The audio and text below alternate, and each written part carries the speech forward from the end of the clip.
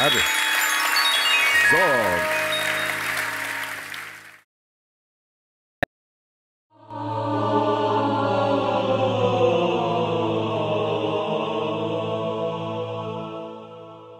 Es war einige Monate später.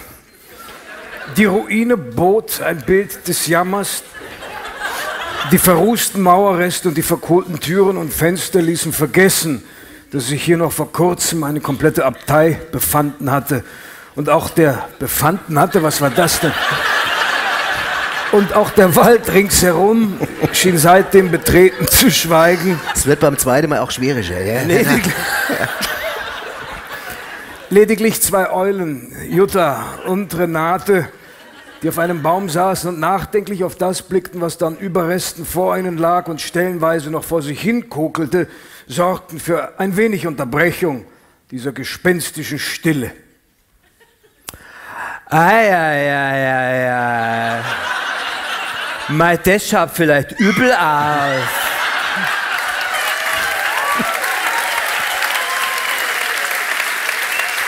Dankeschön.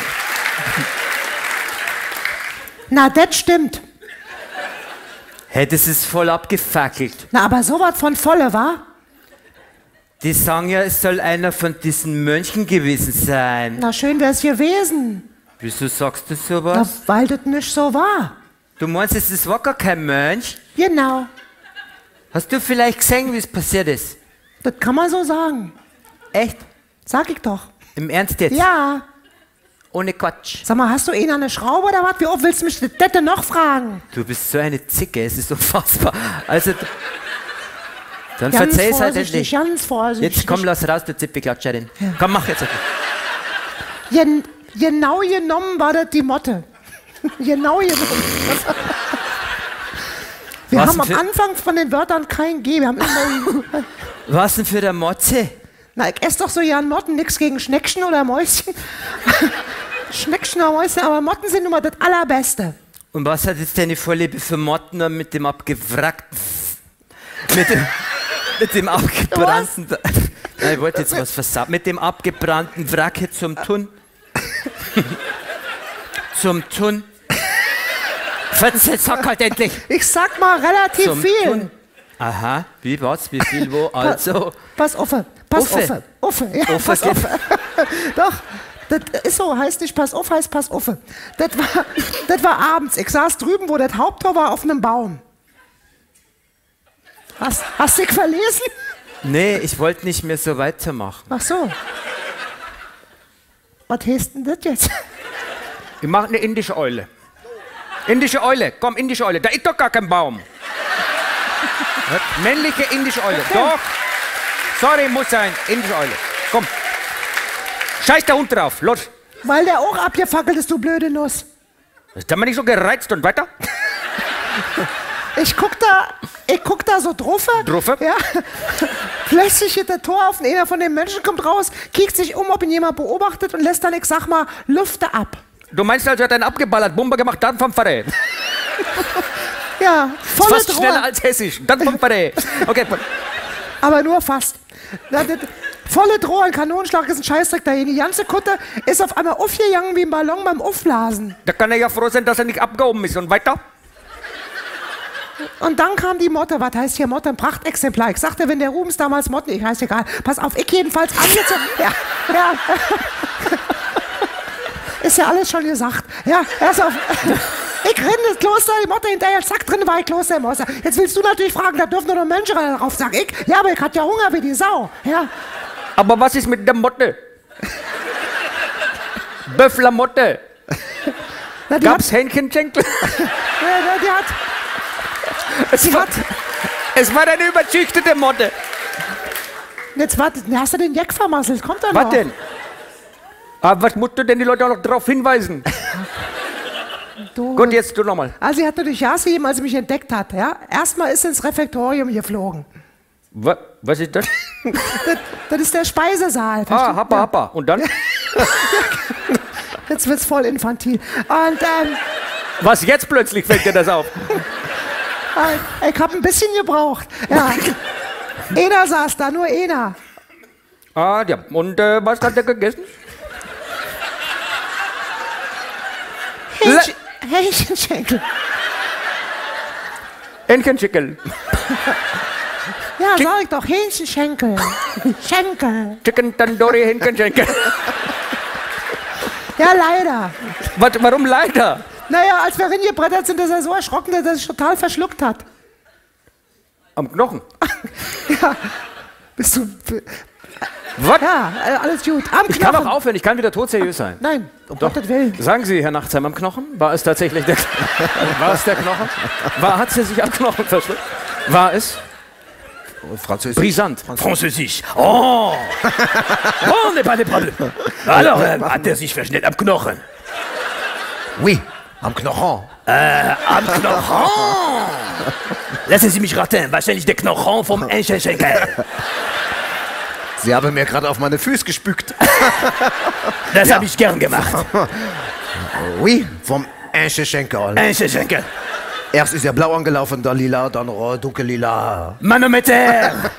Und dann sind wir rausgeflogen. Rausgeflogen. Mit der Air France oder selbstständig? Egal. Und dann waren wir in dem Dormitorium. Lassen Sie mich raten, was haben Sie im Dormitorium gemacht? Da war ist der Schlafraum und da waren zwei Mönche drin. Der eine hat gerade sein Bett gemacht und der andere hat sich eine Waschtrock ra rasiert. Interessant. Ja. Was ist dann passiert? Als er sich, äh, als er uns entdeckt hat über sich, Über sich. ist er mit dem Rasiermesser abgerutscht. Eider äh, Daus. Und dann? Eider Daus gibt es nicht. Natürlich gibt es nicht. Eider Daus. Eider Daus. ja, hier. Mon Dieu, Elsass-Lothringen rechts ab und dann direkt rein nach Eider Daus. What? Auf jeden Fall habe ich äh, gesehen Fontäne so wie noch nie. Noch nicht. Spritz. so. Ich glaube, Frankreich ist am Ende. ja, ich glaube auch. Ich mach mal so weiter, ja? Pass auf. Also, dann sind wir ins Necessarium geflogen. Das ist der Be Bedürfnisraum bei denen, ja? Ich könnte eine griechische Eule machen. Ja, gerne. so gut? Gerne. Mal.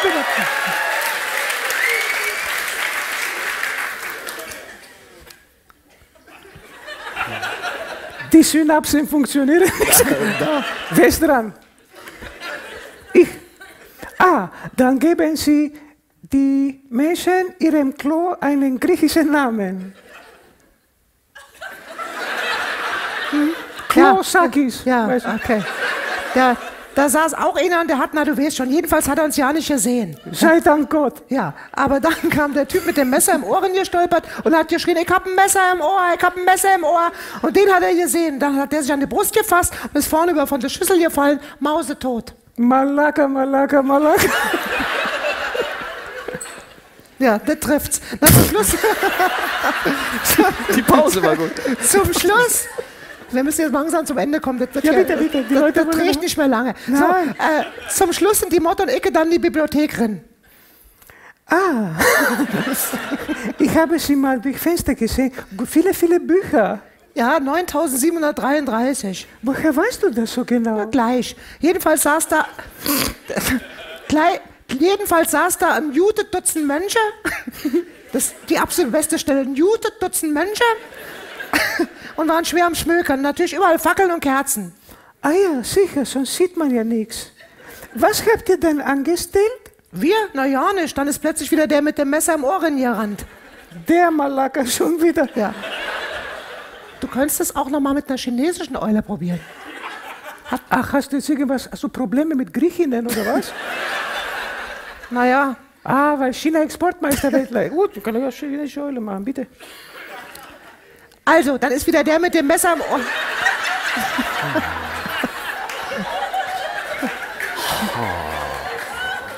Dann ist wieder der mit dem Messer im Ohr.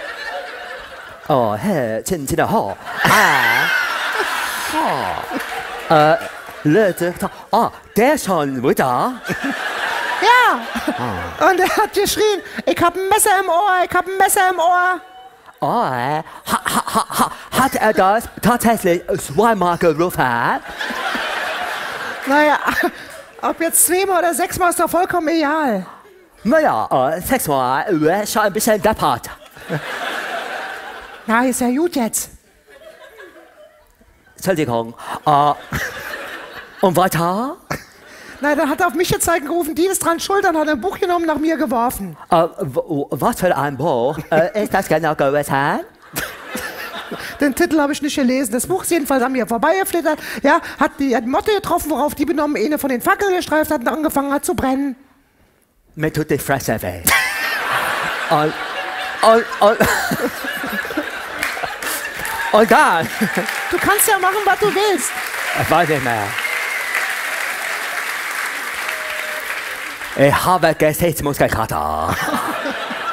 Und dann ist die Motte in der Luft verbrannt. Na, das wäre nachher vermutlich das Beste gewesen, ist aber stand, stattdessen ganz oben auf die Bücherwand geflogen. Und dann verbrannt. Mit Sicherheit bei den Flammen. Was für Flammen? Na, von den ganzen Büchern, die angefangen haben zu brennen. Ah, Ja, worauf einer von den Menschen geschrien hat, Feuer, Feuer. Unsere 9733 Bücher sind in Gefahr. oh, tin tin her. Oh, wieso hat er das so genau gewusst? Meinst du, er hat es alle persönlich selber noch gezählt? Das weiß ich nicht. Egal, was soll ich sagen? So käme eins zum anderen. Ich bin jedenfalls gerade noch den Kamin nach außen. Das was übrigens witzigerweise der einzige Ort war, wo es nicht gebrannt hat.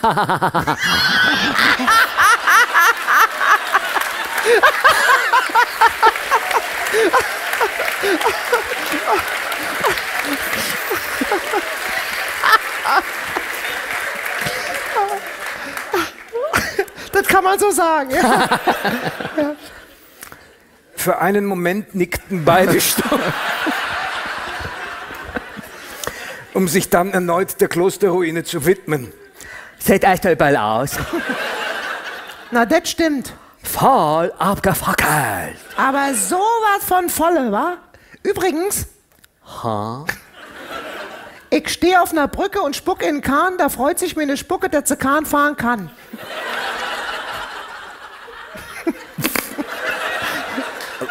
Was hat das mit dem Kloster zu tun? Na, das geht dich einen Scheißdreck an. Habe ich mir gedacht.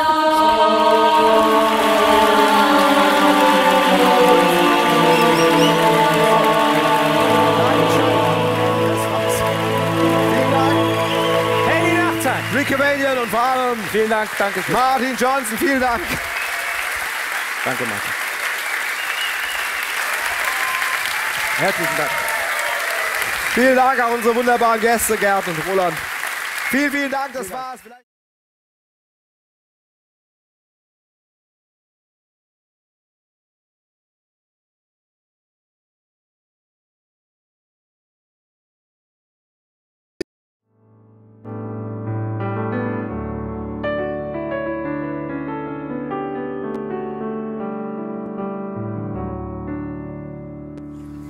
Der Bedarf des Russen an hessischem Apfelwein hielt sich in Grenzen. Genauso wie die Nachfrage nach grüner Soße, Handkäse oder auch nach Rippchen mit Kraut. Der Russe bevorzugte mal Pelmeni, Borscht. Rick, sag's richtig. Wurst. oder eben seinen Wodka. Vor vielen Jahren hatten die drei Schwestern Frankfurt den Rücken zugekehrt und waren hier in die russische Provinz gezogen. Voller Zuversicht und Tatendrang hatten sie diesen kleinen Laden in dem alten Fachwerkhaus an der Hauptstraße im kleinen Bogorodosk eröffnet. Ich kann, es ist, ich kann es sprechen, wie ich, es klingt immer voll nazimäßig, immer, ja. Im kleinen Bogorodosk, ja, ja, ja. Auch ein bisschen darauf spekulierend, dass die Leute vielleicht auch ein bisschen wegen ihnen kämen, denn weibliche Drill, denn weibliche Drillinge konnte man ja nicht jeden Tag überall bestaunen. Aber trotz dieses Zusatzangebotes und trotz der Tatsache, dass Moskau nur gute 20 Kilometer entfernt war, hatte sich ihre neue Heimat als das definitiv größte Kuhkauf der gesamten Welt entpuppt. Was ärgerlich war, allerdings nicht ärgerlich genug, um den dreien den Spaß an der Freude zu nehmen. Denn wenn Olga, Jascha und Irene etwas im Übermaß im Blut hatten, dann war es diese unzerstörbare große Fröhlichkeit, mit der sie allem im Leben begegneten. Auch heute, obwohl noch kein einzig möglicher Kunde in ihren Laden, ihren Laden auch nur von außen angeschaut hatte, war die Stimmung der Schwestern wie fast immer ausgelassen. Denn sie hatten ja sich und ihre gemeinsamen Geschichten von damals, die sie sich immer wieder gerne erzählten. Erinnert ihr euch noch daran, wie die bei der Tankstelle diesen neuen Tankwart eingestellt haben? Ja klar. Ich weiß sogar noch, wie der hieß. Thomas Schlüter. Schlüter. So ganz schüchterne. Wir haben uns die drei blauen Volvos aus dem Fuhrpark vom Vater ausgeliehen. Erst bist du hingefahren, hast voll getankt, da hat er noch verlegen gegrinst. Zehn Minuten später aber hab ich voll getankt, da hat er schon ein bisschen bescheuert reingeguckt. Aber als ich dann kurz darauf zum dritten Mal diesen blauen Volvo vollgetankt habe, hat er mich beim Bezahlen angestarrt wie ein Alien. Ja, ja. Wa- Was hast du dann noch mal zu ihm gesagt? Ich habe gesagt, unglaublich, was diese Schweden so verbrauchen. Ja. Einmal, einmal von hier zum Bäcker gefahren und schon leer. Dann zum Metzger und wieder leer. Und das, obwohl Tankstelle, Bäcker und Metzger alle direkt nebeneinander gelegen haben. Und was hat er da nochmal gesagt? Ja, ja, die Schweden. Die drei Schwestern amüsierten sich wie immer königlich. Apropos Auto, an was ich mich auch gerne erinnere, ist der Abend, wo wir in der Disco waren und uns unsere Freundin Moni diesen Aufreißer gezeigt hat, der immer die Weiber abgeschleppt hat und sie am nächsten Tag nicht mal mehr mit dem Arsch angeguckt hat. So wie er das eben bei ihr auch gemacht hat. Also habe ich ihn angesprochen und auch ein Zwingern gefragt, ob er mich heimfährt. Als wir dann vor der Haustüre standen, habe ich ihm übers Bein gestreichelt und gesagt, ich müsste jetzt leider rein, weil mein Vater ziemlich streng sei und ungebetene Kavalieren immer mal gerne eine Budget date. Das war ihm anscheinend noch nie passiert, so irritiert war der. Ja.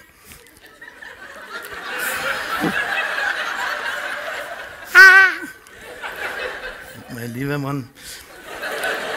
als er wieder zurück zur Disco kam, bin ich hin und habe ihn gebeten, mich heimzufahren.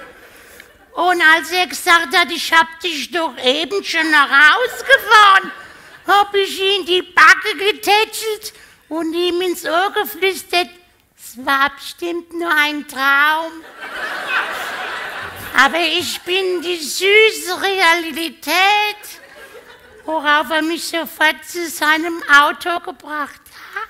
Ja, und als er, und als er eine halbe Stunde später das zweite Mal vollkommen frustriert vor der Disco gehalten hat, stand ich schon da, hab die Bluse so ein bisschen aufgeknöpft und gesagt, bin ich froh, dass du endlich da bist, fährst du mich heim, Schätzchen? Worauf er Vollgas gegeben hat und abgebrettert ist wie ein Verrückter. Und ein paar Monate später hat er geheiratet. Ne? Ja, und zwar den Thomas Schlüter von der Tankstelle.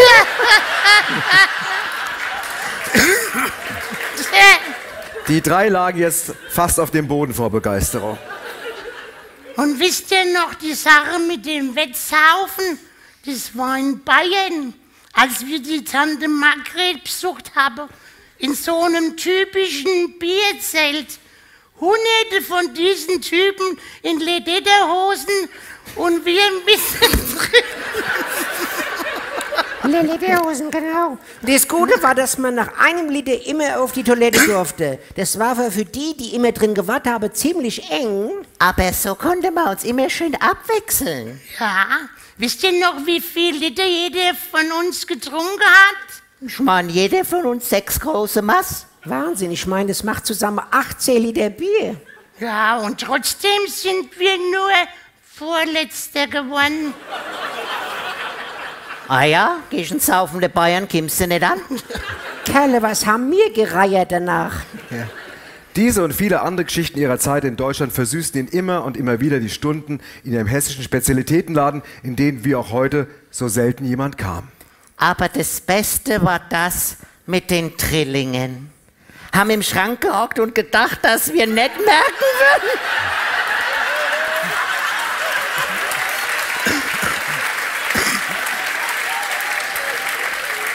Die haben wirklich gedacht, dass wir nicht merken würden, dass immer wieder ein anderer von ihnen ins Bett gekrabbelt kam.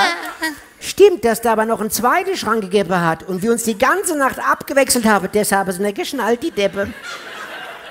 Jascha schlug vor lauter Begeisterung mit der Hand auf den Tisch, dass der Apfelwein aus den gerippten Gläsern nur so schwappte. Andererseits Hatten so, wir alle was von. hatten wir alle was davon. So hatten wir alle was davon, ja. Den machen wir gerade nochmal zusammen. ja. ja. Andererseits So hatten wir alle was davon. Wundervoll.